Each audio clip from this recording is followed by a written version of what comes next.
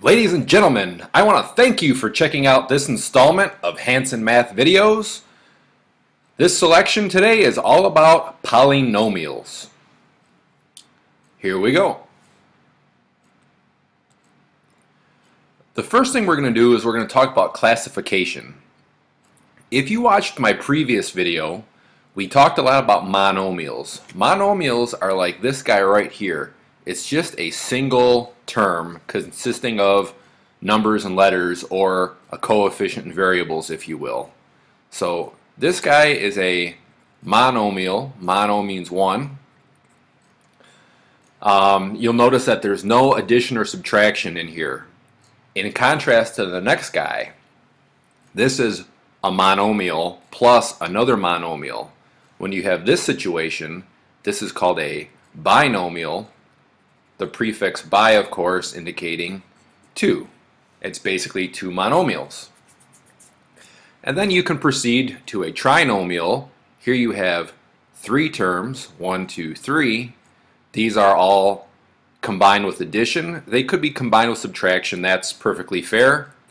Again, since this has three terms, this is called a trinomial. Once you get past trinomial, which is 3, uh, you stop applying a specific name. These are just general polynomials. This is a four-term polynomial. So I would just call this a general polynomial once you exceed three terms. Okay, so there's a little bit of vocabulary. Monomial, binomial. We talk a lot about this guy, a binomial. Very common to work with in algebra, a two-term polynomial, as well as the three-term trinomial. The others, not as common, but you will work with them. Okay, next. When you work with polynomials, sometimes you have to combine like terms. Now, the variable complement must be identical or else you cannot combine. In the first example, you have 3 of an x squared y term and 6 of an x squared y term. Since they're both amounts of x squared y, you can combine. You can. So there's three of them and six of them. That means nine. And what are they? They're called x squared y. In the next example, you have amounts of AB. You have 2, then take away 8, then add 5. 2 take away 8 is negative 6. Negative 6 plus 5 you're still at negative 1 and you are counting groups of AB. The negative 1, the 1 is not necessary, but you do need the negative, so you could just call it negative AB.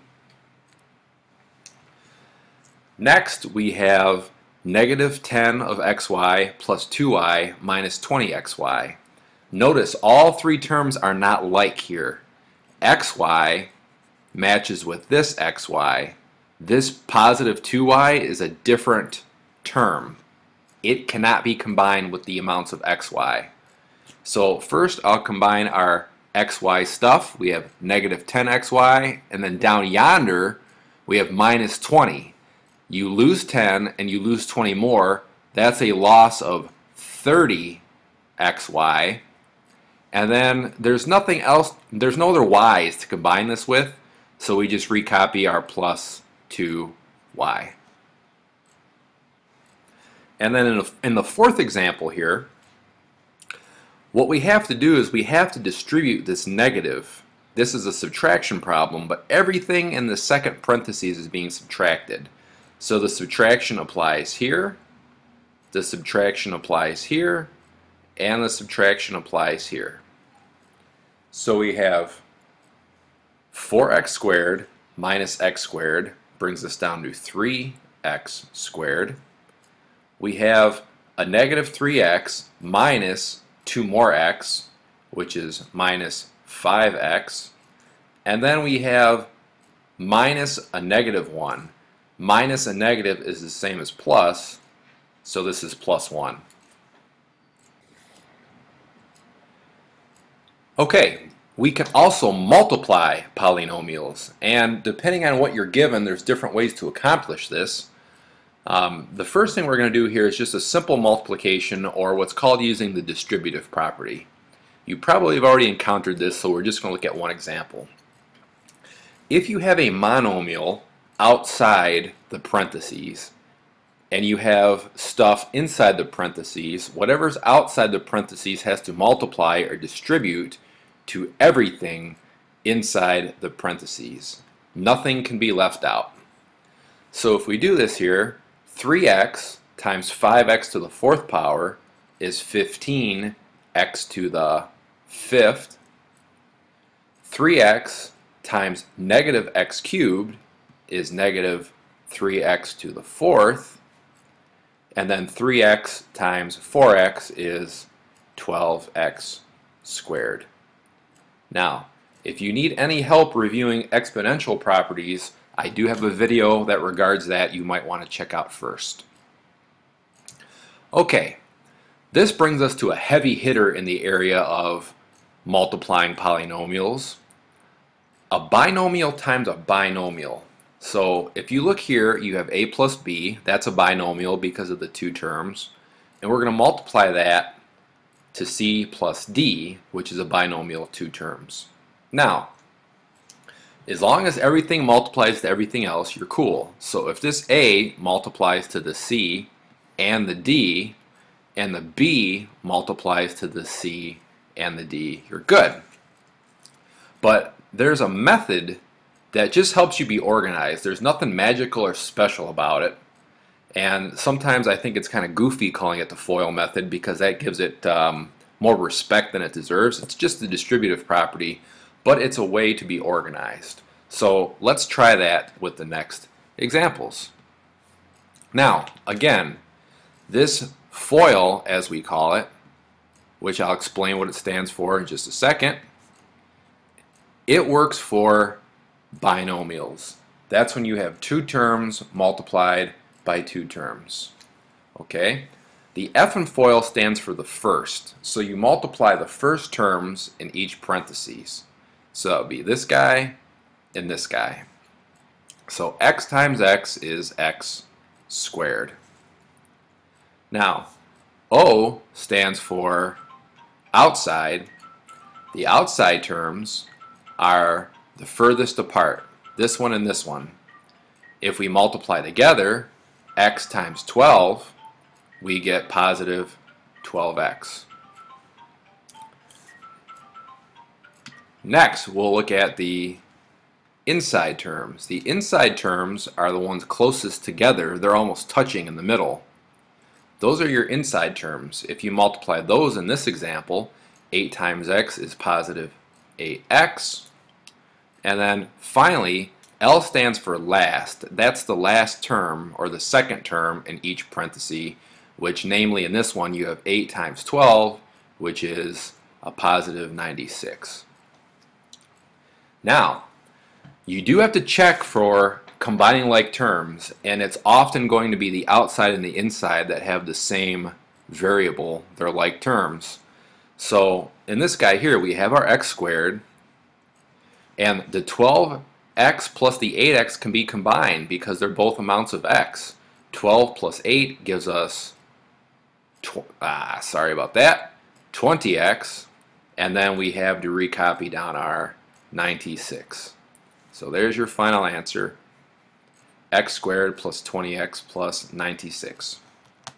Okay, we'll try it again for this binomial times binomial, FOIL, first, outside, inside last.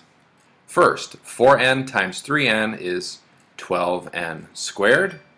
Outside, 4n times 1 is positive 4n. Inside, 3 times 3n is 9n. And last, 3 times 1 is 3. Again, you have like terms here in the middle. So we have 12n squared 4n plus 9n is 13n and recopy the plus 3. Hopefully this is going well thus far, but we do have some more examples for additional mastery. At this point in the lesson, you very well may want to hit pause and grab a paper and pencil and work these ahead and see what you can do. Um, if not, you can work right along with me keep watching. we're going to pick up the pace a little bit. Okay, binomial times binomial. So we're going to try FOIL.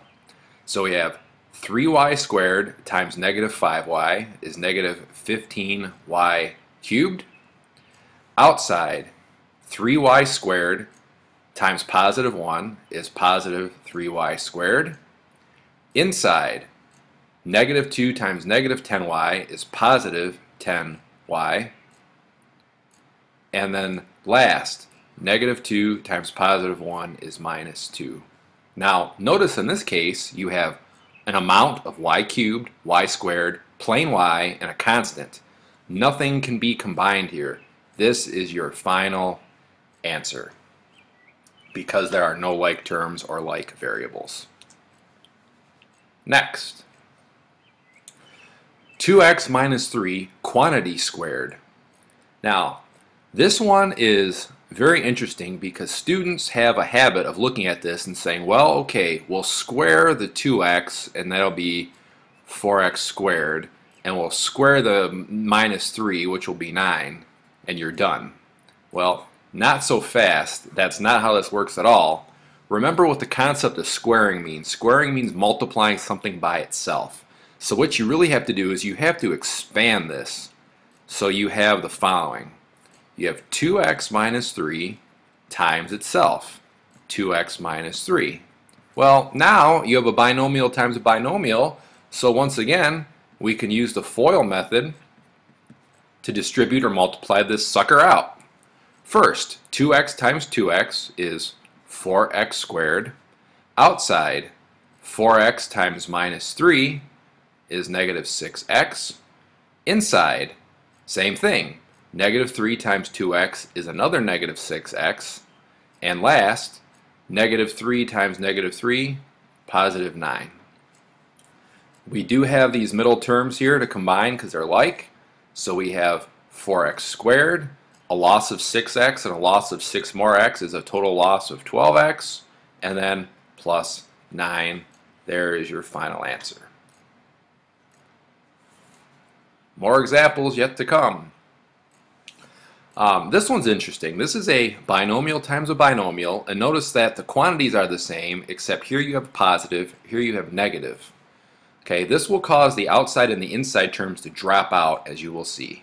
FOIL, x times x for the first, x squared. Outer terms, x times minus 9, negative 9x. Inside terms, 9 times x is positive 9x. Last, uh, I'm sorry, positive 9 times negative 9 is minus 81. Now you'll see here that with the x variable, you have negative 9 of x and positive 9 of x. Those cancel out. So you're left with x squared minus 81. x squared minus 81 is called the difference of two squares. Once you get into factoring, you will see that. It's called the difference of two squares. Probably don't, don't need to know that right now, but it will come up when you get to what's called factoring. Okay, just a couple more examples here. Here we have a binomial times a binomial times a binomial. Sometimes students get freaked out when they see this for the, for the first time, but there's no need to get upset. You just work at it in phases. So what you do first is you multiply the first binomial times the second. Don't even worry about this guy right here, this x minus 4. We'll get to him in a second. FOIL out these two. First, x times x, x squared. Outside, x times 1, 1x. Inside, 2 times x, 2x. Last, 2 times 1, 2. Combine the like terms, so we have x squared plus 3x plus 2. Slap this guy in parentheses. Hey, look, now it's a trinomial. 1, 2, 3. Well, we're almost done with our multiplication, but we can't forget about this guy. Drag it down, keep it in parentheses, and multiply. Well, how do you do this? Well, it's not going to be fo FOIL per se because it's not 2 by 2. This is a trinomial, 3 terms times a binomial 2.